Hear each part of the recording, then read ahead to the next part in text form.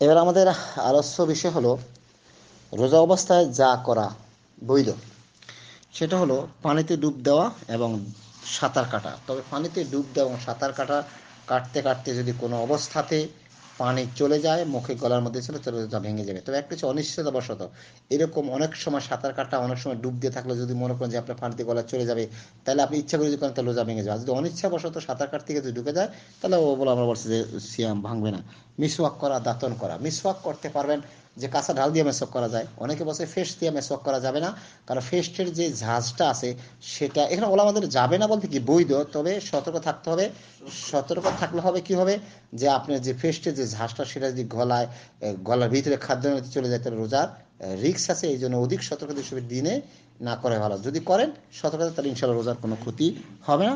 বুঝতে যেমন সুরমা লাগানি, চোখে এবং কানে ওষুধ ব্যবহার করা, পায়খানা দ্বারে ওষুধ ব্যবহার করা, পেটে অ্যান্ডোস্কোপি মেশিন সঞ্চার করা বাহিক্য শরীরে তেল মলম ব্যবহার করা, স্ত্রী, স্বামী, স্ত্রী, উভয়ে আপোষে চুম্বন করা, দেহের দূষিত রক্ত বের করা। যে কথা বলছি, যে যে সিঙ্গা লাগানি এটা বলে আমাদের মধ্যে দ্বিমত প্রশ্ন আছে।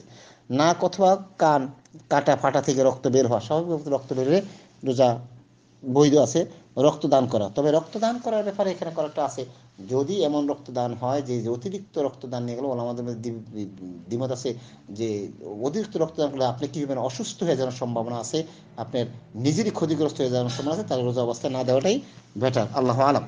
দাঁত তোলা, কিডনির বৃক্ষ বা মৃত্যুস্থলী পরিষ্কার করা আহারের কাজ দেয় না, এমন ওষুধ ইঞ্জেকশন ব্যবহার যে কথা আমি আগেই বলেছিলাম ইন্স্যুরেন্স যেটা খাদ্যের সম্পূরক নয়, স্বাভাবিকভাবে ওষুধ জাতীয় দেন তাহলে ইনশাল্লাহ রোজা ভাঙবে না, ক্ষতি হয় না।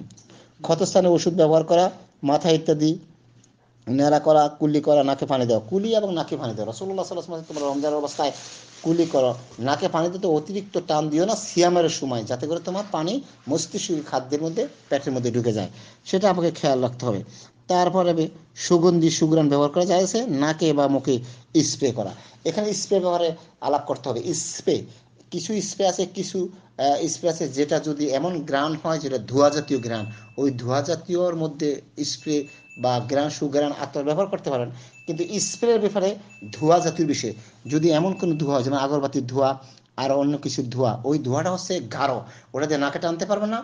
ওটা যদি পেটের মধ্যে তাহলে রোজা ভেঙে যাবে। এটি সতর্কতা থাকতে হবে। কিন্তু স্বাভাবিকভাবে আতরের গ্রান বা এমনি অন্য অন্য গ্রান আপনি শুনতে পারেন কোনো সমস্যা হবে না, ইনশাআল্লাহ, রহমান।